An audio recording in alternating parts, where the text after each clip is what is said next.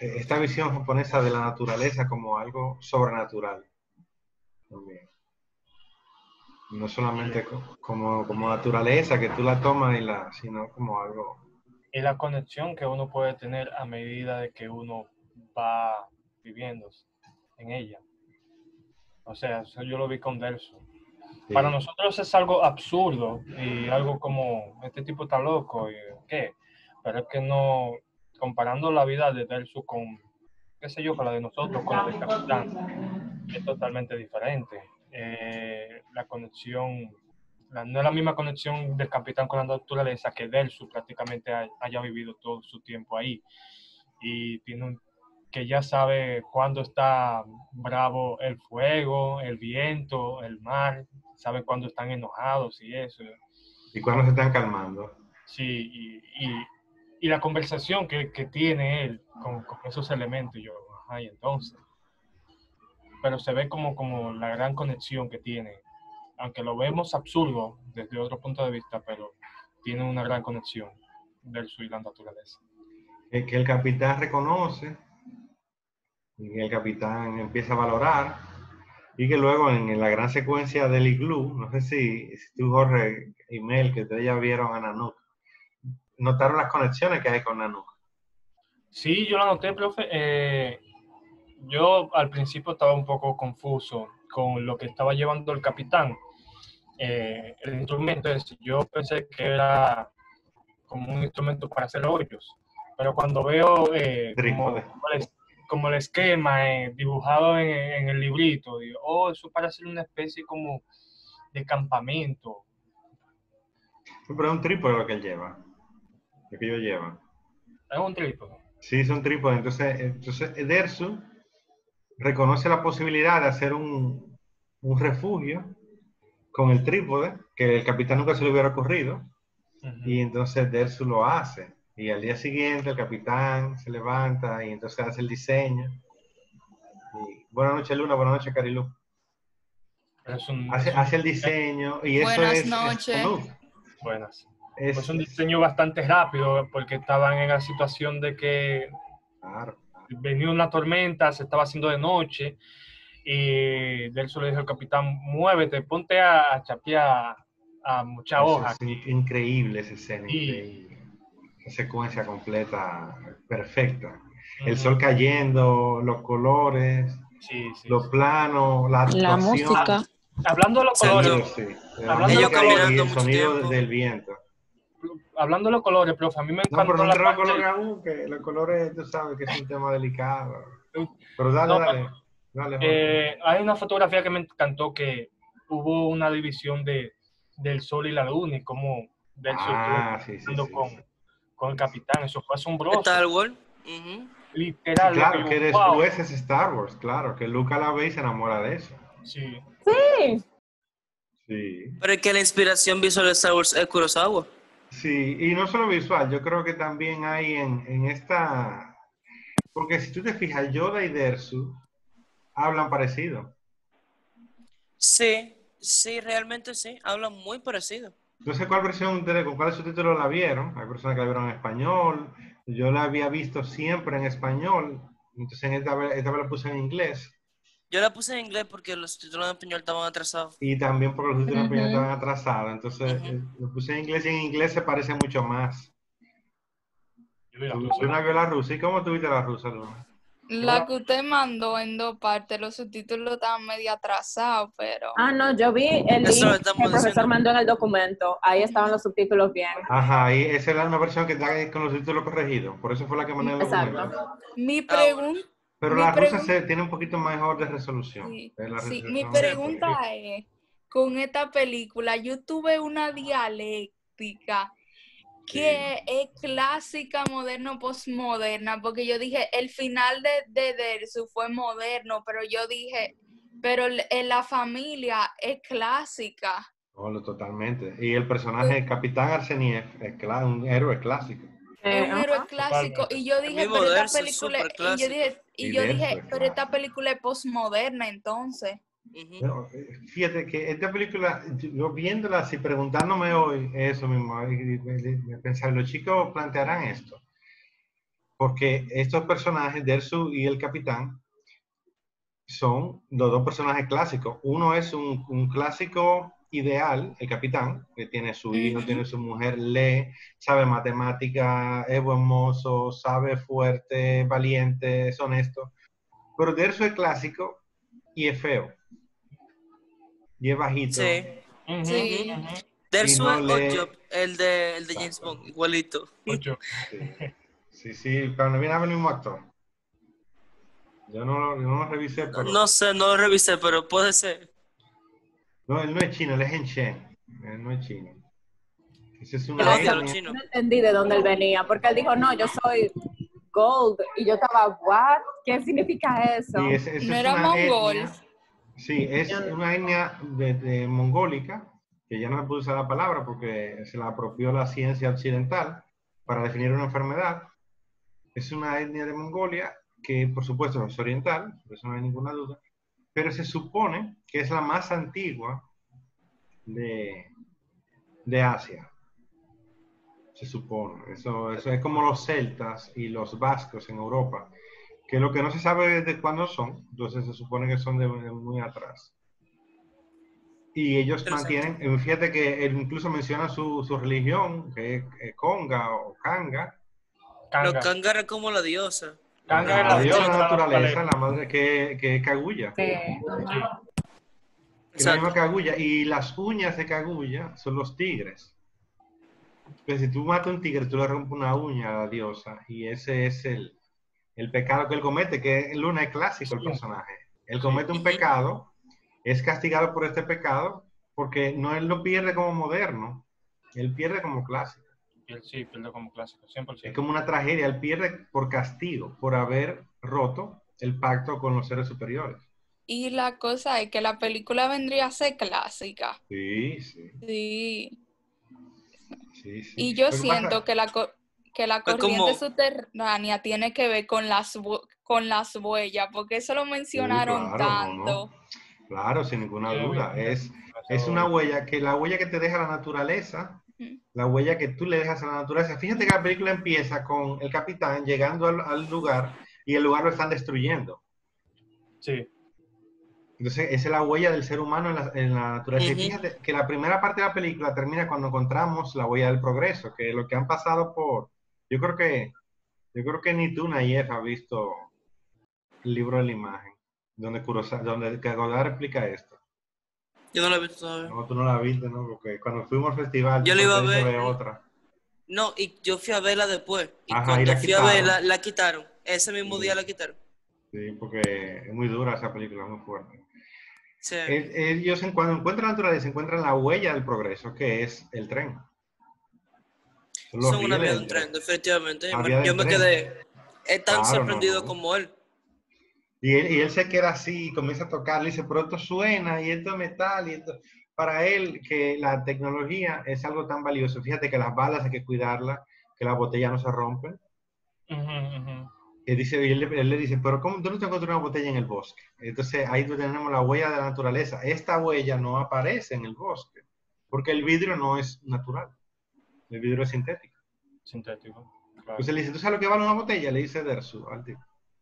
Sí, que se ponen a estar jugando, de que quién tiene mejor puntería. Yo le dije, no, Ay, voy a dice, tirar. ¿cómo tú Sí, Una son chamaquitos. Sí. Son carajitos, Son 19, definitivamente. 20 años quizá, soldados, sueldos en el bosque. Es Muy, muy buenos militares, muy buenos soldados. A mí me gusta mucho cómo se relacionan con Dersu, que al principio lo rechazan y luego aprenden con su capitán que Dersu vale la pena, entonces se vuelven amigos de él. El capitán, de todo, es como muy analítico. Porque le- le dio la oportunidad de. Un No, clásico. No como, no, no como que le dio la oportunidad, sino como que le dio lo mismo como que Dersu tomara la cabeza desde la marcha. Claro, un tipo, un tipo, un tipo honrado. Dice, no, el que sabe él, vete tú adelante y vamos a hacer lo que tú digas. Yo soy el Sí, a mí me encantó eso, o sea, como él no le preguntaba, dice, por qué él decía tal cosa. Por ejemplo, él decía, no, que aquí pasó un hombre chino. Él no preguntaba por qué él sabía eso, los demás preguntaban, pero él decía, no, él sabe. Él no preguntaba nada. Y efectivamente, era un observador. Eh, ok, es verdad. Yo sigo sin entender por qué el hecho de que en la bota haya agua quiere decir que por ahí pasa un chino. No, él decía que era una bota china. Esa vaina. Él decía que era una Exacto. bota china. Hay marca de Yo no sé cómo son las botas bota chinas. china. No, Y no, yo no. dije, ¿qué, ¿qué tiene que ver el agua con los chinos? Eh. No sé. Bueno, en los subtítulos en español decía que era una bota china. Yo supuse que era un tipo En de inglés bota también. Yo, yo asumo que él se dio cuenta de eso fue por, por el tipo de la suela, de, de la huella. Sí, Ajá, pero. ¿cómo logra él saber la suela? El tipo está muy, bien. No, no, mira. Era un No gran rastreador. Porque. Pero él sabrá. Es como nosotros que vemos cosas. O ustedes con sus padres cuando tienen que explicar el Zoom. Entonces no entienden bien y su papá dice: Espera, ¿y dónde es que tengo que darle? ¿Y cómo que prendo la cámara? Pues así. Para lo que para ustedes es normal.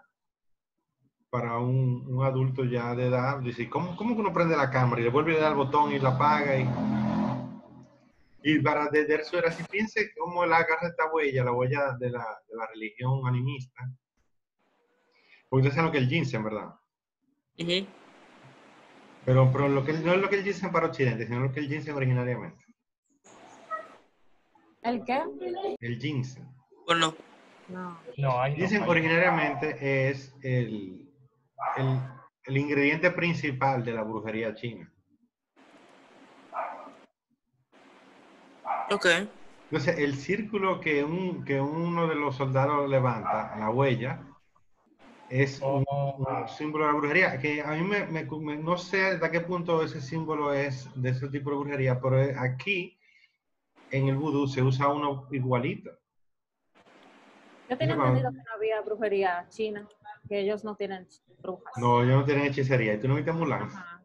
No, sí, pero yo, escu- yo estaba viendo un video que hablaba acerca de las cosas que tenían erróneas eh, Mulan y decía que las brujas es algo puramente occidental, que no es, no es algo que China tenía. Ah, bueno, entonces Confucio está equivocado, que es posible. Porque es verdad. Gracias, No, profesor. no hay, no hay cultura sin hechicería, ni siquiera los judíos, que es la, la primera cultura que, que se decide a, a desterrar la superstición, se quedó sin brujería. Porque toda la cultura tiene superstición. Es que el mundo es tan grande que tenemos que buscar una forma de encontrarle sentido, Explicar algo, sí. De, de explicarnos las cosas. O sea, es como, como dice, di- decía el mismo Derso, si yo mato a un tigre, me van a castigar. ¿Por qué? Porque los tigres no se matan. ¿Por, qué- pero ¿por qué no se matan los tigres? Supongo por eso mismo, por el espíritu del bosque. Exacto. Y eso es lo que, lo que dice el capitán. Pues él le, le habrá tenido miedo a quedarse solo en el bosque con problema de visión. Que a, partir, que a partir de ahí, de ese suceso, él di- eh, de lo que hizo, ya le vino la tragedia de faltarle la vista y no tener buena puntería. Sí, claro, claro. Una, una genialidad de, de Kurosawa puso- y de su guionista. Y debido a, y debido a eso, como que se puso más irri- irritable, ahí que decía de, de- del círculo que cogió el soldado, que se acomodó y eso. lo devolvió. Bueno, lo que le decía el símbolo es que la brujería, el vudú, tiene ese mismo símbolo. Ese mismo. Es una ramita así, medio circular, con una... Enganchada, sí. Sí, se engancha. Y ya casi no se usa porque como el país se está urbanizando, aún en el interior, pero la última vez que yo anduve buscando un brujo lo encontré así. Ok. Wow. Ok. Encontré el Pero muy símbolo. parecido a la corona, sobre todo a la corona de Stalker. Sí, sí, es, eh, eh, probablemente te- tenga que ver con eso. El símbolo, y entonces el símbolo te señala, según está el palito, te señala desde ahí hacia allá, y según el grosor, cuántos pasos tú, tú tienes que dar. Entonces tú siempre lo encuentras, no hay que ser tan exacto porque el brujo, ya, sea en una cueva, que ya aquí los brujos no, hace muchos años que no trabajan en cuevas, pero siempre hay una No, casa, una... ya. Ya los brujos de aquí son modernos ya. Usan wifi, tienen WhatsApp. Sí, el tipo tenía su, el tipo tenía su wifi. Que era el único, el único del batey que tenía wifi, era el brujo. Él tenía su wifi. No, Pero era brujería, sí. Tenía wifi. no, no, era, era una cosa muy... Yo imagino a todo el mundo diciendo que él tiene alguna vaina rara que, que señale. No, es brujería. Sí, no, pero el tipo, el tipo... Y el batey no, no- no es un batey distante. No es ni siquiera no, eh, no un bate distante, está relativamente cerca de la capital. Yo ni, yo ni sabía bro- yo- O sea, yo nunca he visto un brujería en mi vida. No te has perdido de nada, pero No sé, pero parece como eso, como algo curioso, como... eh, para escribir ayuda y para este tipo de, y para encontrar estos, estos punticos de películas así que que son curiosas, que tienen eso. Decir, Sí. Yo no sé si, si la brujería china es así, es posible que sea como dice María, que después de Confucio los hayan matado a todos. Lo que es seguro que ¿Quién después de? Mao no quedó ninguno. En el Instagram de la ñata se encuentra. Eh, cuando A- dice la ñata, a- amarres y más. No, pero es sin relajo. Yo le voy a mandar un screenshot. Aquí están dando los trucos. Pero la ñata no es la... la Esa misma, El- esa misma, esa misma. esa misma, la misma esa ñata. misma. Sí, la misma. pero, pero volvamos al color entonces, porque de, Ok. de Dersu, la brujería a la ñata, volvamos al color. ¿Qué les Ay, pareció? no es por- Yo tenía una pregunta sobre dirección. A mí me pasó algo con toda la película que, que hemos visto. La japonesa. que este sí, yo, yo no sé, pero yo también estaba hablando eso con María. Toda la película que hemos visto, las japonesas específicamente usan demasiado establishing shots. Hay momentos que yo me desespero. En esta película no me pasó tanto porque era como que tan bello toda la naturaleza que mostraban que me gustaba, pero con Nippon me desesperaba un poco porque era como ciudad. Eh, Miyazaki también lo hace mucho con la animación, pero como que todas las películas japonesas que hemos visto en este mes enseñan demasiado establishing shot. Yo no sé si es por los directores, si el estilo de ellos. Sí, es, es un... A mí me pasa todo lo contrario. A mí me molestó en esta película.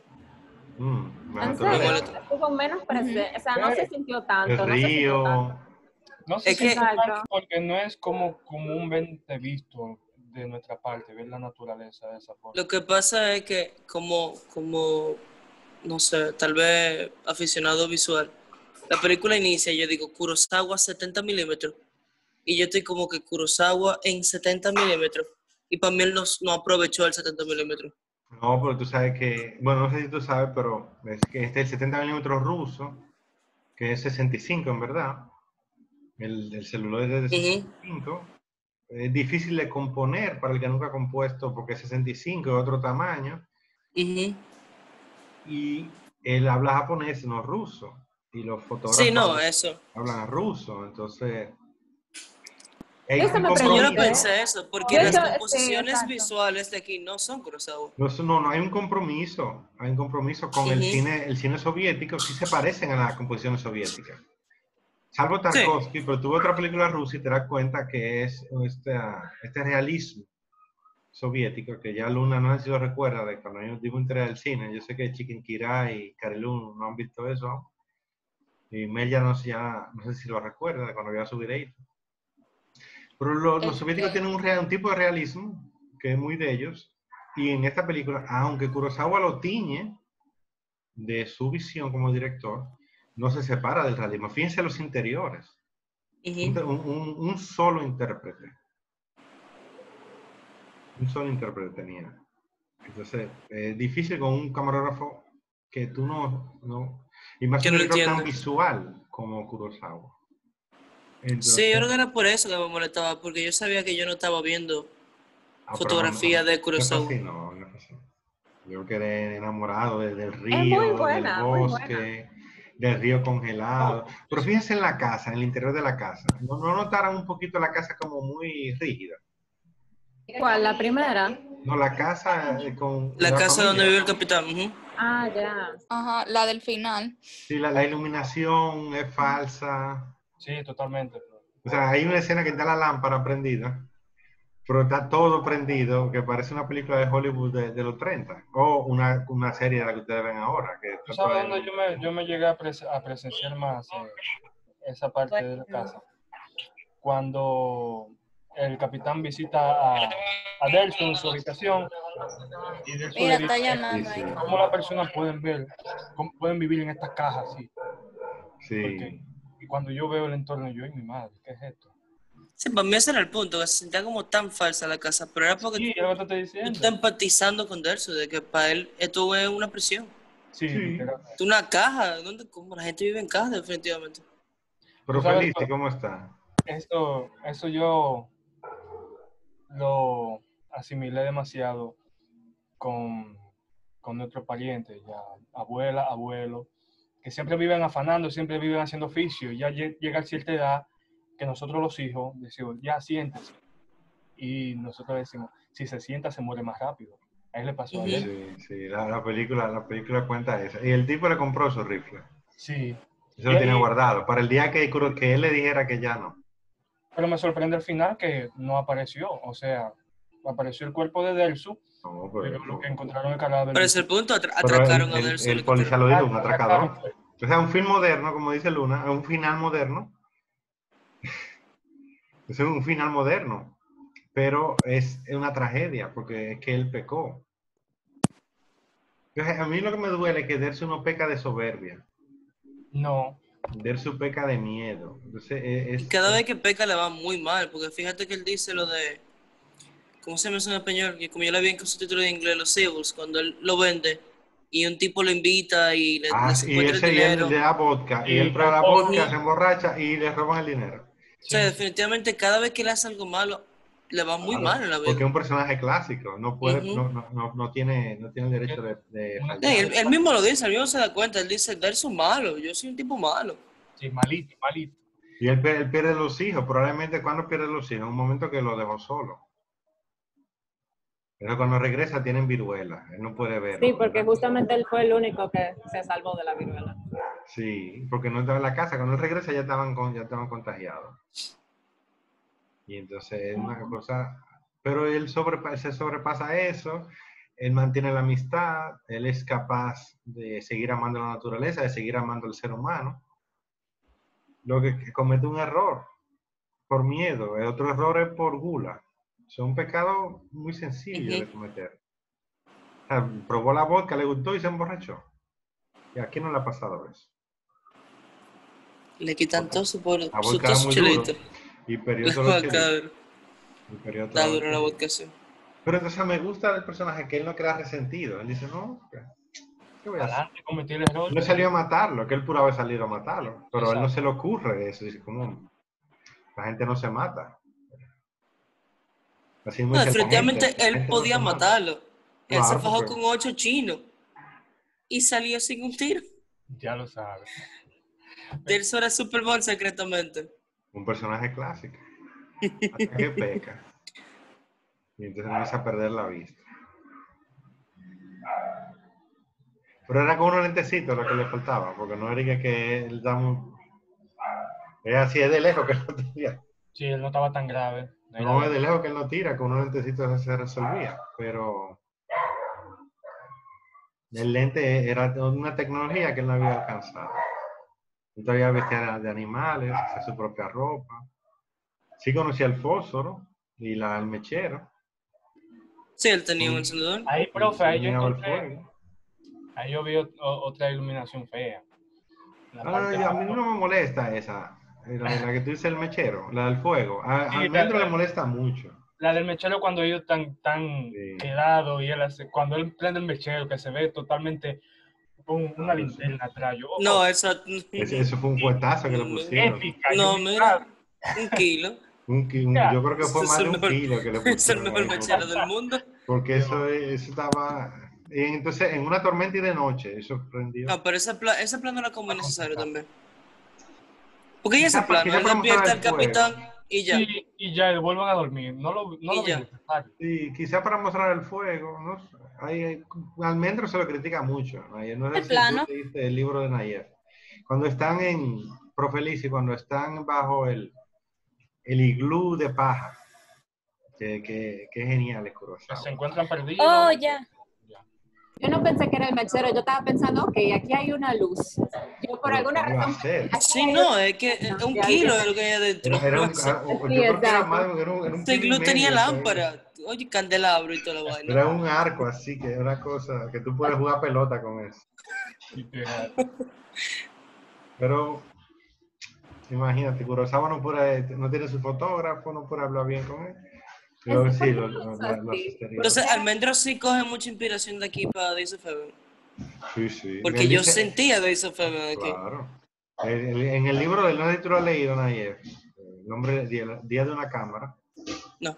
el Kurosawa Kurosawa, o sea, no hay, no hay un director de los 70 o un fotógrafo de los 70 o un guionista que no se pueda influenciar por los Que no hable de por Rashomon. Y luego entonces los 80 él hace Ram y Kagemusha. Y después los 90 hace Dreams. Hace Dreams. Yo nunca he Un visto tipo, Dreams. un tipo de 80 Nunca lo he encontrado. No, no, Dreams anda por ahí. Nunca he Eh, podido recuerdo- encontrar. Siempre he querido ver Van Gogh de Scorsese, una casa de Van Gogh, esa película. Scorsese, claro. Siempre he No, querido ver ese Van Gogh y no, nunca lo he Dreams encontrado. está en, en el recuerdo de nosotros, los felices, los pocos felices que pudimos verlo. Y los que no pudieron, pues, No, yo estoy esperando que le saque, que a- alguien le va a sacar una versión en Blu-ray en algún momento. criterio. Aunque, No sé. probablemente. Y cuesta probablemente 152 dólares la bio, ¿eh? Eh, Ah, ah, es que ya. Oh, sí.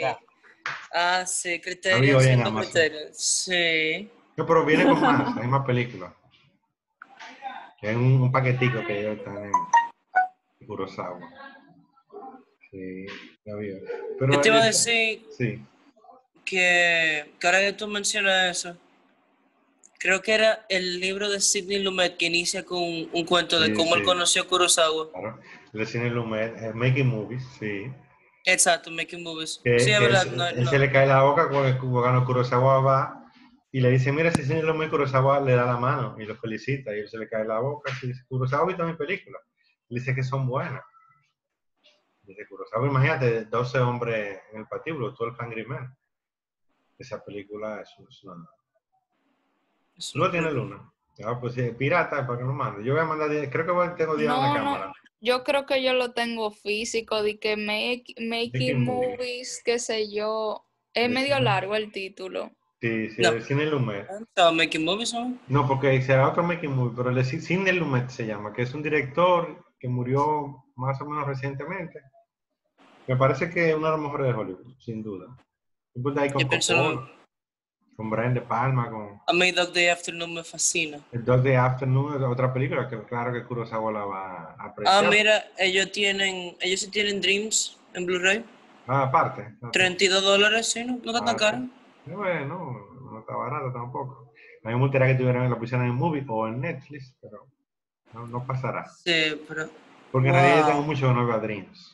¡Wow! ¡Qué eh, pero no habla del color de, de, de Kurosawa y sus rojos y sus verdes y sus azules. Y su flashazo rojo en el medio del verde. el, el rojo, ajá, exactamente. Los flashazos rojos, también azules, mucho azul. los flashazos. Sí.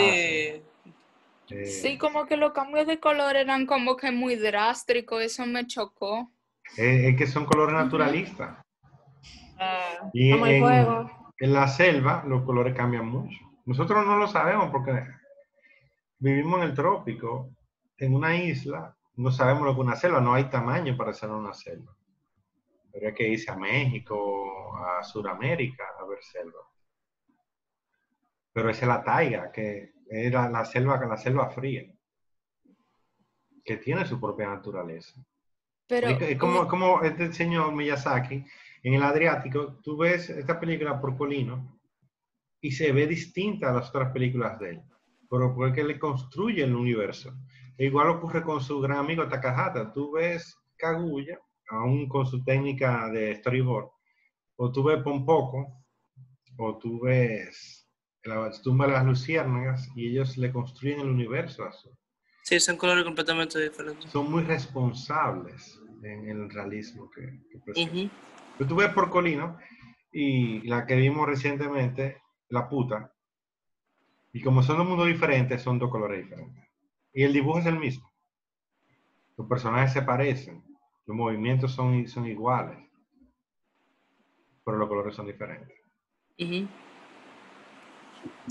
Pero ustedes se recuerdan cuando lo cogió la tormenta, que estaba súper oscuro y azul, Sí, sí. y de repente como que al otro día, como que se pone todo rojo, y el sol rojo.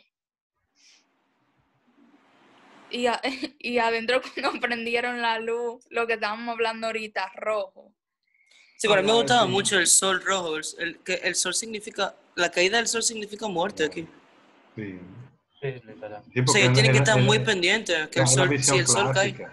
La visión clásica, sin sol no hay vida. El sol como dador de la vida.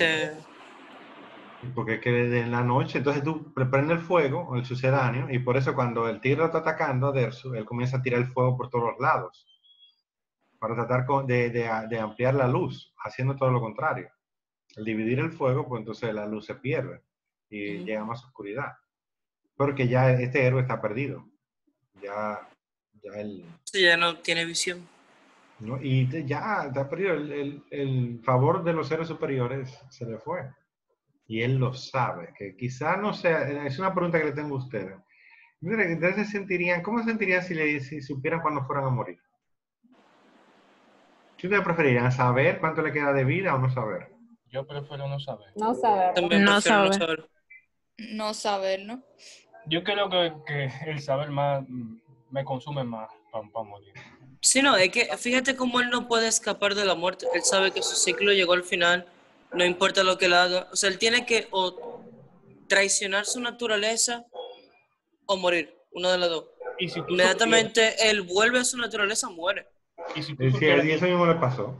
yo percaté, si tú supieras que yo perca- percaté, que él como que quiso extender más su tiempo de vida Claro. aceptando ciudad. capitán que se vaya para la ciudad. Claro, es el punto de la ciudad. Él tuvo que traicionar a su naturaleza. Él no quiere, él nunca quiso ir a la ciudad. Pero él no quiere morir. Pero se sintió a un punto de que no aguantaba más, que se sentía que se estaba consumiendo ahí en esas cuatro paredes. Y dije, me voy, me voy para mi bosque. Y sucede Y se dio cuenta que esa no era, no era su vida tampoco. Qué independientemente. pena que Kurosawa sea tan realista. de que- o bueno, además de que la película sea rusa. Porque esa ciudad donde la muerte no puede atraparlo fuera tan hermoso en realismo mágico. Sí, pero el, el, el realismo mágico, aunque Kurosawa cuentan que le gustó mucho a Gabriel García Márquez, no sé si leyó a otro más en español. O sea, a otro más de los autores en español. Aparte del Quijote, por supuesto, los clásicos que él sí leyó. Pero, pues, ¿cómo tú cambias la, la cultura? su No, eso estoy diciendo. Obviamente Kurosawa no lo iba a hacer nunca en la no, vida. no, el hijo de Pero- Samurai. Kurosawa Claro que sí. es, lo mismo que, dice Dersu. Para yo, si yo cambio, si me traiciono, pierdo. Entonces yo prefiero no perder. Prefiero no traicionar. Y Kurosawa no se traiciona. Esta película rusa, que se supone que hace comunista, sí, sí. María, búscalo. él, fue un samurái famoso, el, el ancestro de él y todo. Pero ¿y hasta cuándo existieron los samuráis? No siguen existiendo. Ah, no, Depende de quién tú le preguntes. claro. ¿Tú viste Mishima? Sí, Mishima exacto. dice que él era un samurái. Ella no ha visto Mishima, eso es lo que pasa. No. Ya no ha visto Mishima. Profe, en esta película a mí me encantó. Tú Mishima y Mishima se siente como un samurái en Pues tú sus puedes palabras. leerlo, sí. ¿Tú decías, Jorge? que a mí me, tam- me, me encantó también cómo esta película fue realista en, en demostrar la agudez de los sentidos, porque en, en el ambiente donde tú te desenvuelves y eso, hay ciertos sentidos que tienden a desarrollarse más que otros. Por ejemplo, lo dijo el mismo Delsu cuando ya le vino la maldición que, que no pudo ver al, al ciervo, y que mi nariz bueno. vio primero que la vista. Ah, Ujú. no. Mi nariz vio primero. Y también como a mí me gusta un plano que mostraban, creo que al capitán y a, y a Delsu, eh, totalmente aislados de, de un sitio y dice Delsu, vuelo, vuelo fuego, vuelo personas. O sea, en el ambiente, sí, en el ambiente de que friendo pescado. O sea, que en el ambiente que tú te, eh, te manejas y eso, tú tiendes a agudizar ciertos sentidos y eso lo demostró ahí Delsu. Tenía la vista perfecta, tenía el olfato, estaba un perro, como bien dice. Y, y el tacto, no solamente las manos, él sentía la tierra, Ujú, ujú. él la percibía. Y entonces eso, estos sentidos son lo que nos permiten conocer las huellas de la realidad. Fíjense que se llaman sentidos. Y, otra y otra cosa, el protagonista realmente era el capitán porque era el que estaba narrando, a pesar de que Dersu, porque era él que estaba narrando la historia. Para mí yo sentí que él era el capitán, era el capitán, aunque a veces se concentraba en Dersu. Yo no la sentí que era coral, aunque como que fuera de dos protagonistas. Yo sentí que era el capitán. Aquí estos los protagonistas están equiparados, son como el Quijote y Sancho. Sancho. Sí, yo sí la sentí como de dos protagonistas, incluso visualmente. Pero Sí, el, el protagonista clásico, que es el que sobrevive, por supuesto el capitán. Y eso es Sancho Panza. Oh, su barriga verde. Yo creo que dar su barriga verde. Barriga verde, eso. Tipo chiquito, feo. Él es odio. Literal. Un héroe moderno. Seguimos en el otro que este se acabó. Ok, Es verdad.